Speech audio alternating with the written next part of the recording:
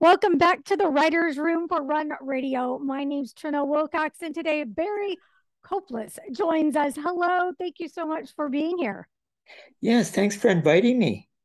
You've got quite a resume. You've done TV, you've done producing, hosting, and writing. So you just kind of have done the whole media gamut, if you will. Yes, and I'll, I'll let you in on a little secret. When I was 16 years old, I was shy as a church mouse. Were and I would you? never get in front of anybody of an audience or on TV or anywhere there's a camera. I was very camera shy. which is very different from most of society today because we're all out on the social media doing the most. So, what turned that around for you? I would say I was always looking for opportunities when I came to Winnipeg about 40 years ago to try something different and challenge myself or step outside of my comfort zone. I come from a small town in Alberta, and there's not many challenges in Alberta because everybody knows you. I was born on the farm. So I was very isolated from the city, and I didn't have that much exposure to new opportunities to work on TV or film or writing books and speaking, stuff like that. So when I come to the city of Winnipeg, I found a lot of opportunities. I thought, well, I'll give it a shot. And I thought would write a, actually, I founded a friendship club group. And I thought, gee, maybe I can get on TV with this group. So they were looking for new shows on a local station called VPW 11. So I wrote out a proposal and they accepted it. Neat. And that was my beginning of getting out of my shyness. so you just kind of went in looking for the opportunities. You were very bold. Yes, exactly. And even though I was shy, I still said, Well, I want to try this because they said, We'll help you put the show together. We'll mentor you, coach you, whatever you need. If you've never done TV before, don't worry. We're all experts, so we'll help you. So I got mentored and coached. So from that moment on, were you just in love with the whole process of being on TV and seeing everything work from in front of the camera and behind the camera? Or did you just kind of do that one and done for a little bit and come back to it later? No, actually, I got a schedule where I was to do a, a live or tape show, depending on what I want to do, on both sides of the cities every Monday. Really? At Really? 8.30 in the evening. If you want to be live, you can take phone calls. It will go across the city. If you want to be taped, it'll be on the west side of the city, only on video and cable. I said, okay, I'll, I'll, ro- I'll rotate. Sometimes I'll do taped, and then sometimes I do live where I want to cover the whole city and then take phone calls. So they kind of told me about that content too, like the process. That's interesting. Today, we a lot of people wouldn't have that kind of um, opportunity. What would you suggest to someone who is very interested in learning and and getting out of their shell as well? See, this particular channel was a community cable station called Videon Cable VPW, Videon Programming Winnipeg. And our country has a mandate for all cable companies to set up a community station. hmm So they take all the profits, and some of those profits are put into community cable network. And I just happened to be on VPW 11. I was on there for seven years. And so they had a lot of shows that were produced at this network. And unfortunately, when it got sold, uh, Shaw owns the cable company now in Canada. They, they, they erased and destroyed all the tapes, all the content Oh, luckily I saved some content on my YouTube channel because throughout the years when I did my computer show, I actually had some pretty high power executives on my show. I'm talking? Microsoft Canada, the editor of a local computer newspaper, and computer clubs were on my show. So I want to produce a quality show, just like I wrote a quality book now and have a quality podcast because everything I do in life is about quality. It's not about quantity.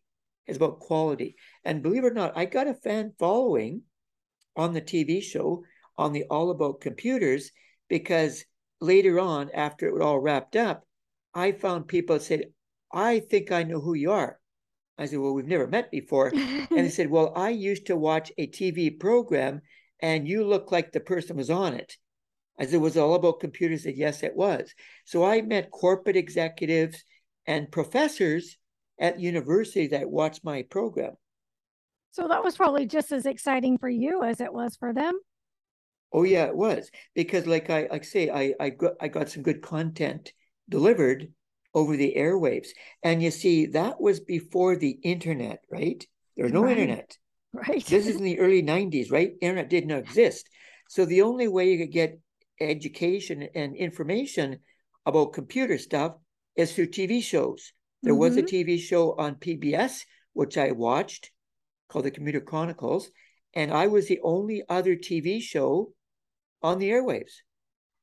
So, what, because my background is in end user support and computer information systems, I'm curious with your program, what kind of content, what were you sharing with the public and your audience? Well, I was sharing new software programs, for example. I would bring, I would get a, a review package from a company and say, okay, we're now going to show you a brand new software package and we're going to step you through the features of it Okay. live on the air on a computer, right? The Right. camera would zoom on the computer, we show that, right? Also, hardware.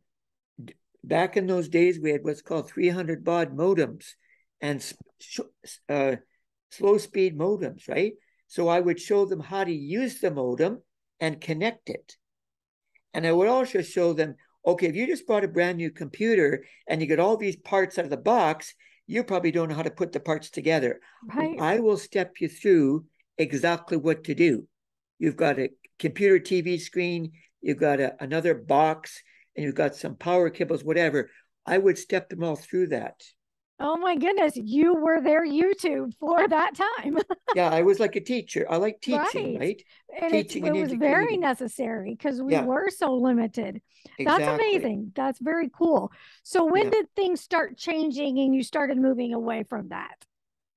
Okay, so after they uh, wrapped up my show, then another fellow that watched my show all those years said, Barry, I've got another project for you.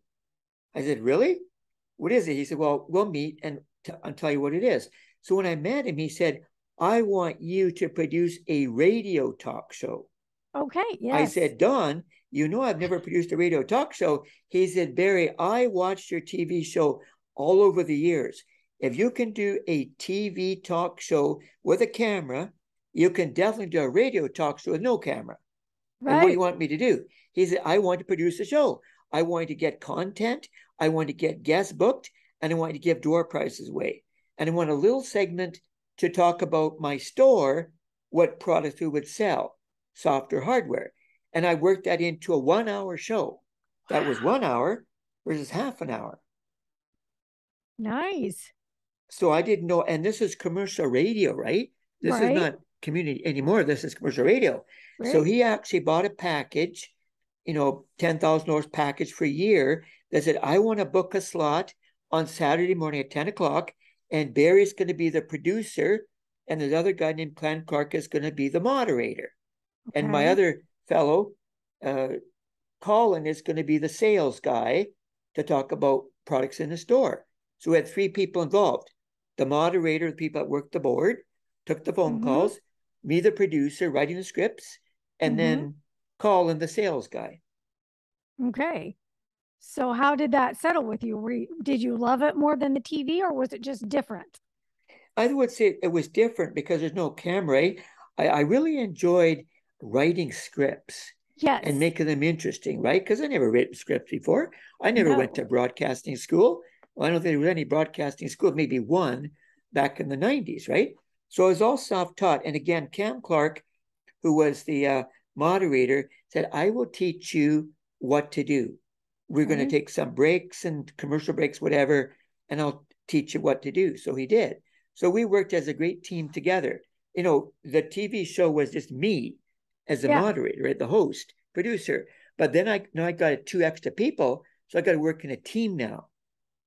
Okay. And we have to work together for the hour, right? So here you are working really hard at your writing skills Had you done much writing besides for your shows and for TV? Had you done any writing for books or articles at this point? Not really. I wasn't really much into writing before that. You know, I in school I did writing, essays, whatever, but I didn't do much writing before that. So I, I said, well, I'll just write a script and see if it's acceptable, if you like uh-huh. it. And they accepted it and it was good. And for the next year, I wrote scripts every week because it was a weekly Saturday morning show. It was yeah. one hour live, right? Live. If if you make a mistake, you can't roll it back. It's a live yeah. show. Yeah. So then when did you start putting your pen and paper or to keyboard, if you will, into book form or, you know, ready to start thinking in terms of putting a manuscript together? Okay, so uh, let me just step back a little bit because sure. after the TV show ended, I still wanted to do storytelling. And so okay. then I brought a video camera. Okay. And I said, because I missed the interviewing part, right? Right. On the yes. TV. So I bought a video camera, a Panasonic 1080p camera, and I took it out and I started visiting people, say, I would like to record a story for you. I did that okay. for several, well, 15 years I've done that for. I still continue to this day. And it was only when I couldn't do that anymore, when COVID arrived in the world in Manitoba, I said, no, I can't shoot any more videos. What am I going to do now? I did all these videos, all these interviews. I said, I know what I'll do. I'll see if I can write a book. And the previous book I wanted to write was about video production because I'm a video producer, right? I produce right. videos. Maybe I can teach people on how to shoot videos on a phone, a webcam, or whatever, right? And so I said, okay, no, I don't want to do that. I'll write something which I'm good at, and that's on networking. I said, I'm really good oh. at ah. networking. So why not write a book on networking? So I got in my head all the people I met over the years, how I met them, where I met them, what the occasions were, and what the results of the meetings were. And I started writing. Okay, we're. Gonna, we're we're gonna get into that, but I want to back up, and I'm glad you backed up to that nugget where I'm all about people blazing their own, own trail or making the work that they want to do without someone always giving them permission to do it. And I love that you just picked up a camera and you said, I love interviewing. I like storytelling, so I'm going to do it. And you found a way to do it. Tell me a little bit more about how were you super confident that people were going to tell you stories or how did you approach them without being nervous? I know that I will get a little self-conscious and be afraid that they're not going to think I am I I am good enough to want to share the story with or that I am qualified enough to share the story with. So how how did you how did you go all about doing that? So I would say the, the way I approach people is that I'm a former producer of TV broadcast shows. Mm-hmm. And on my TV show, I interviewed a lot of people. And I would like to know if I could interview you about your story or your business. And that's a very soft introduction, right? Because mm-hmm. one thing I don't do is I'm not a paparazzi. I don't yes. like paparazzi approaches, right? Stick the camera in your face. Right. We want you to tell our story yeah. right now. You know, we're going to ask a lot of questions, bombard you with questions. I don't approach people like that. I said, I'm a video producer, I'm a podcaster, a speaker, and I'd like to know if I could record a story for you. And most mm-hmm. often I get yes answers yeah. Yeah. because of the approach I do, right? I'm very soft spoken. I'm I say, would you like to me to shoot a story about you on, on camera? And I've never had too many no's. Okay. What kinds of stories were you telling? And then how did you share them? Were you putting them up on on a website YouTube, or YouTube? Yeah, YouTube channel. Okay. Okay. Yeah. And what so kinds the kind of, stories that I I would find, like I like charity organizations. Yes. I have a strong relationship with a lot of charities in Winnipeg. And believe it or not, I've gone places where the public can't go only because I asked. And you may say, Where's that? Well, the top of a 40 story building, for example, right. the rooftop. and I actually got up to the rooftop of this big building And I actually interviewed people up there to say, why are you rappelling down? You know what rappelling is? By rope? Yeah. Rappelling? Yes, down this building, and aren't you afraid? And I actually got to interview a lady on CTV, Marilee Caruso, and she was terrified. And the cameraman said, Marilee, you can't back out because we want to put you on the noon hour news. So I interviewed her after and got a story how she was brave enough to put on the harness and everything and rappel down 40 stories. And it was raising money for charity, right? Yeah, right. But mm-hmm. still, she's never done that in her life before. Yeah. That's a new that's a new thing for her, right? Yes.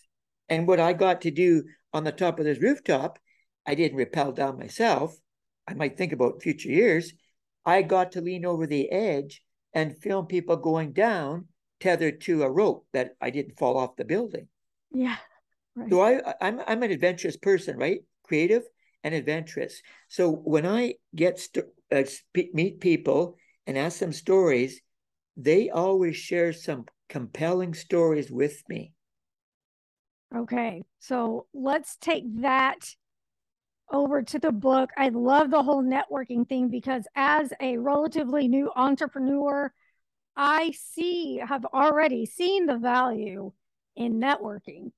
And it only takes, you know, one great connection for that to perpetuate more. But I do also know that it is time consuming. A lot of people can be bashful. I have moments where I'm like, feel a little intimidated by a group of people. So, what's your wisdom and insight for people starting out? Okay, so here's what I do when I meet a stranger for the first time I look for signs that we can connect with. Mm-hmm. I'll give an mm-hmm. example. When I saw a fellow with a video camera at an event, I walked up and said, Oh, I see you got a video camera. Are you in broadcasting or are you a freelance media producer? He said, Matter of fact, I'm sort of in broadcasting. I said, Really? Well, that's interesting because I come from the broadcasting world. And the next thing you know, he says, You know what?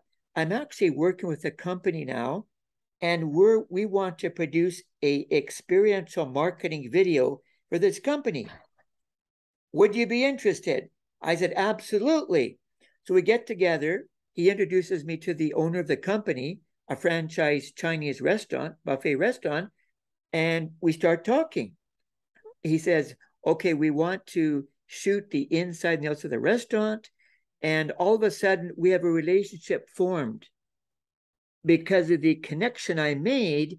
He, he was a translator because the lady didn't speak very good English, mm-hmm. but he was in video. I was in video, and we just connected at the right time. Uh, one other thing I'll mention to you have you heard of the law of attraction? I have. Or the book, The Secret? Well, I ever have. since I discovered that, I attract people by going out in the world and we make a connection. Mm-hmm. It's the mindset, the positive mindset that I connect with. Mm-hmm. And I mm-hmm. just look for signs. Okay. To say, I wonder if there's a connection out in this crowd somewhere. Let me look around. Let me look for signs. And when I saw the guy with the video camera, I said, I think that's a sign. I need to walk up to him, even though I've never met him before, and ask him about his video camera. What kind of shoot video shoots does he do? Okay. So, as you're putting your book together, what's your writing style like? Do you set aside certain amounts of time, particular time, or do you just write when it strikes you? I would say I a lot of my writing was done in the evening. Okay. I'm like a nighthawk person. I like to write in the evening, not in the morning. And so I wrote a lot about the evening. But I would get some ideas that pop in my head and say, "Oh, I got a great idea. This one in my head." I get back to the computer and write the idea down. So it took quite a while for me to flesh out all the 80,000 words I wrote. Oh, wow. yeah, that's how many words in the book. But I would just get all these ideas out of my head or some flashbacks or looking at pictures. You know, I take a lot of pictures of events or video clips or emails I might have read and say, oh, there's a great uh, idea for content in the book. You know, and I add that in. Because you see, one thing I've done, which I think is a good idea, I document everything I keep all my emails. I keep all my meeting times. I keep everything. Okay. Because I don't have to dig back again. I just dig through my archive stuff and I just pull it out. Okay. Do you have do you use folders and stuff to organize your emails or do you pretty much just keep it in the timeline that it came in and sort? No, I actually have folders. Okay. I might make a folder like make quality connections book and I make make another folder say guests that were that I met, okay. another folder that events that I've attended. Like I, I make a lot of folders okay. on my Gmail account. When it came time to think about publishing, did you go independent, hybrid, traditional? How did you publish? Okay, so I learned a lesson from another fellow, which I took back in 2017. He actually self published on a book machine at a bookstore in Winnipeg. Have you ever heard of this kind of process? It's actually a book machine, and you feed all information in, and it puts out a book. And his book cost thirty dollars, and I think there was a base price and so much per page. I said, "Ooh, that sounds expensive." Ooh. Okay. And I don't like the, the, the format of it. Right? He had to sell his book for thirty dollars. It was okay. a five hundred page, eight and a half by eleven book, right? A fiction book. And then when it went to Amazon, he had to pump up the price to $60. I said, gee, I don't think anybody's going to buy a nonfiction, or rather a fiction book for $60. There must be a different way. So then somebody, I went to a lot of webinars before this, right? And somebody said, I've actually published books on Amazon. Oh, how do you do that? Yes. Well, they yes. have this platform called KDP. I said, what does that mean? Kindle Direct Publishing. I said, oh, yes, tell me more. So I thought, well, maybe I'll check out this KDP because I'm already an Amazon customer. Right? I buy a lot of stuff at Amazon store, and maybe I'll check that out.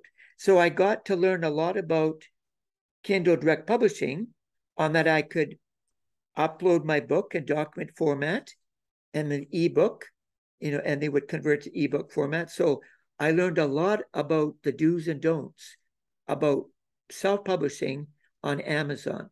One thing it did give me, which I wanted, is worldwide exposure. Correct. Because Amazon's around the world. And also, you could set the price of your book. You could put promotions on, which I did in the mm-hmm. early part. And then you could send the link on all your social media. And that was at a very low cost, right? It's Kindle Direct is free. Yeah, yeah. So that's what I chose to do.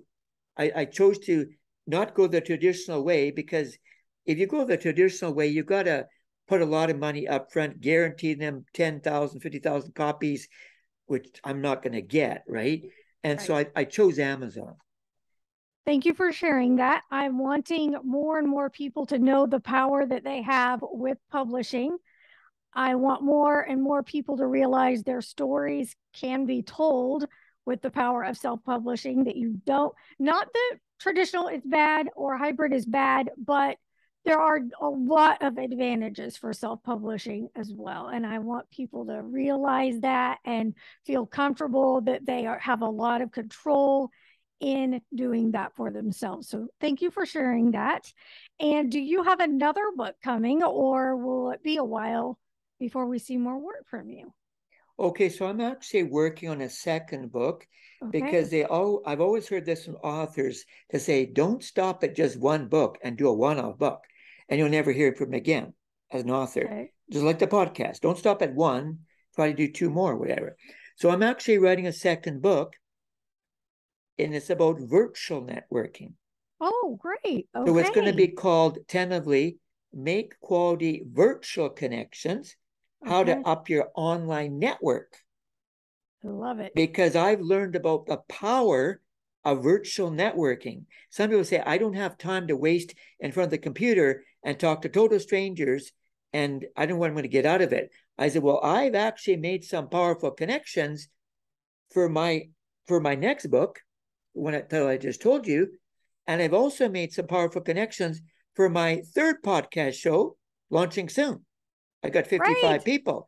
You see, so I've used the internet and Zoom and other platforms to leverage connections mm-hmm. and build relationships. And that's what people don't get.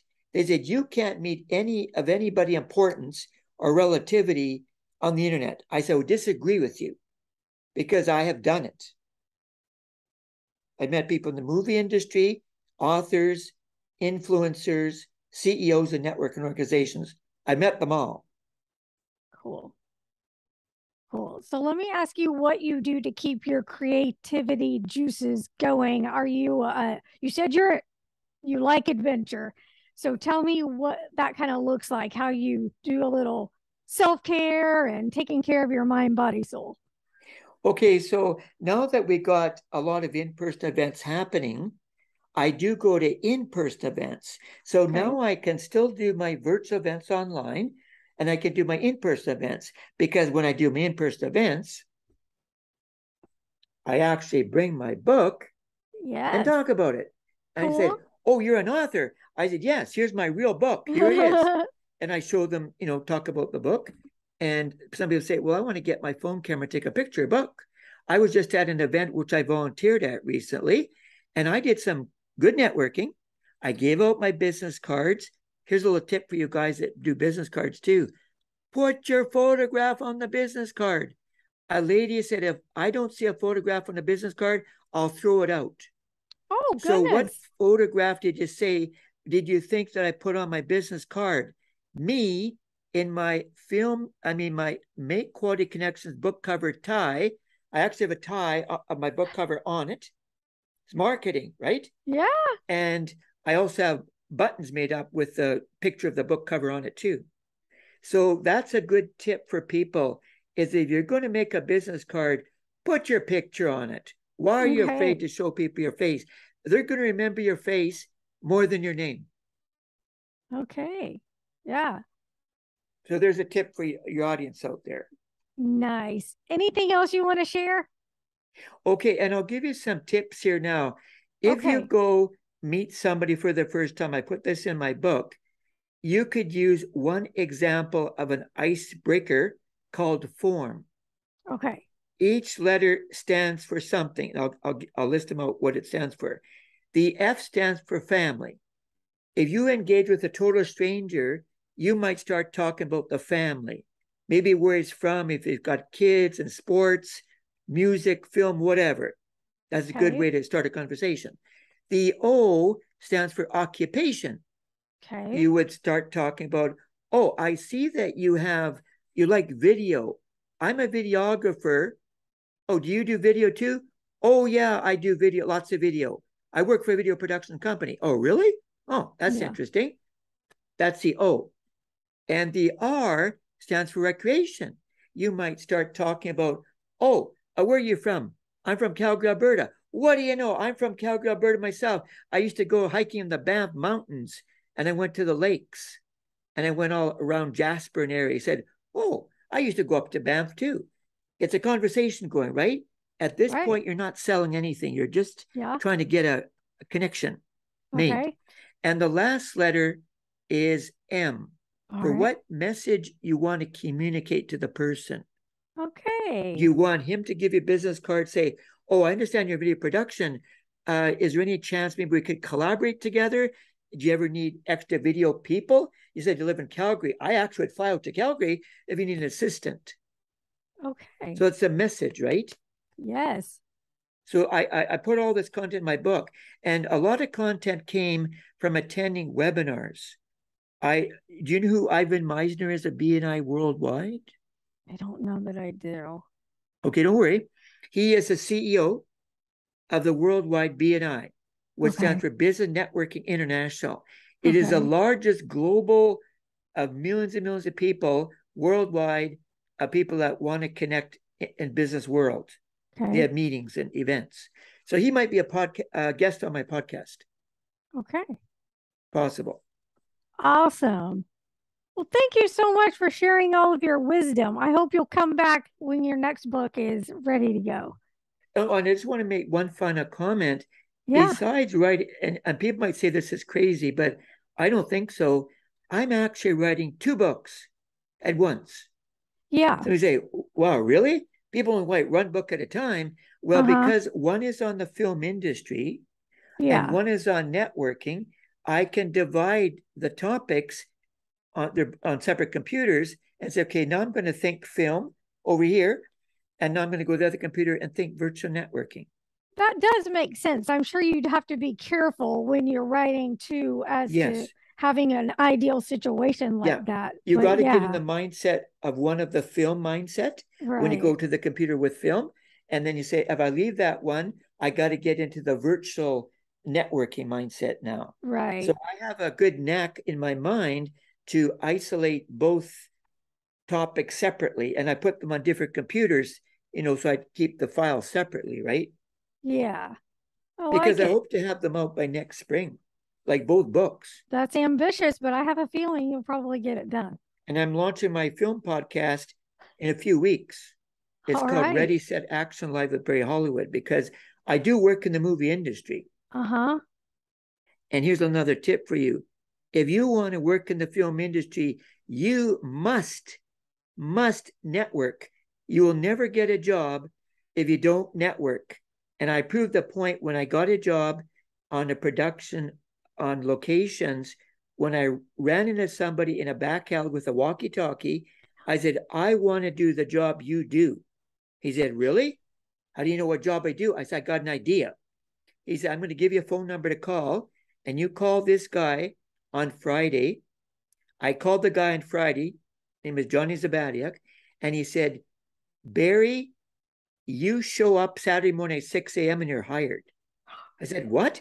I'm hired. You never met me. Don't worry. We're going to get you orientated. If you've never done location work or production assistant work before, I'll give you all the ropes to learn Wow. and I got a job four days. I made a thousand dollars on a production which was on TV. It was indigenous film. So don't let anybody tell you that by talking to somebody on the street, you're not going to get anywhere with that because I got a job out of this guy with a walkie-talkie in a back alley. And I'll tell you one more last story. If we have time or not, but I'll tell you one last story. I got a job working for a corporation, which is a crown corporation of the provincial government of Manitoba, by attending a Christmas party. Oh, that there's no way you can get a job by attending a Christmas party. People go there to have fun and drink and whatever. I said, well, yeah, I, ha- I still had fun and drink and whatever. But I walked around this party and I started asking people, I said, what is your name? My name is Pauline. My name is Barry. Pauline, where do you work? I work for the Manitoba Liquor and Lotteries Corporation. I said, Really? That's very interesting. I'm getting excitement now, right? I'm getting excited. She said, like she's thinking, why are you so excited about what I said?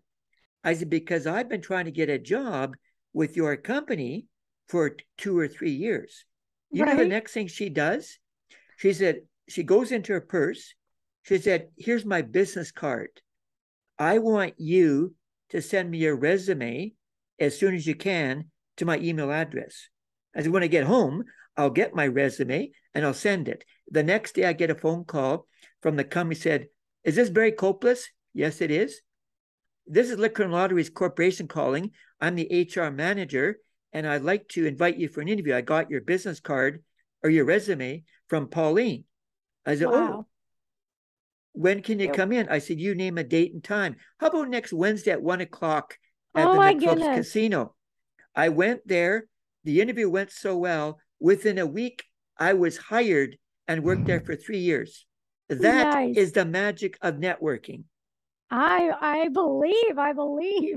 Thank you so much for sharing. I appreciate. I think we could talk another segment on all your stories. Yes. It's been And one, one final point I will give people a gift because I'm also a gifter of Okay. my ebook, a sampling of my ebook. If they send an email either to you, I'll have to I forward it to you. It's a sampler copy. It's about 12 pages.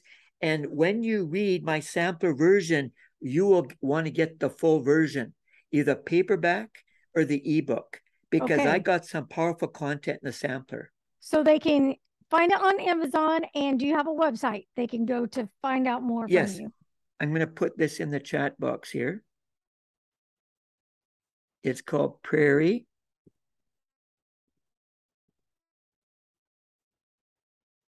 Dash multimedia.